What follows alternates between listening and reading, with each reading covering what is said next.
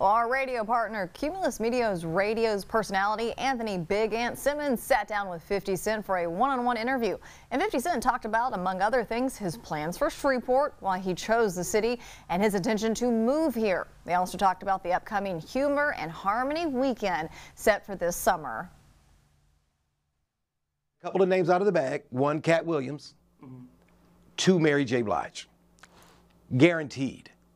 Three hotels he's going to uh, rent out.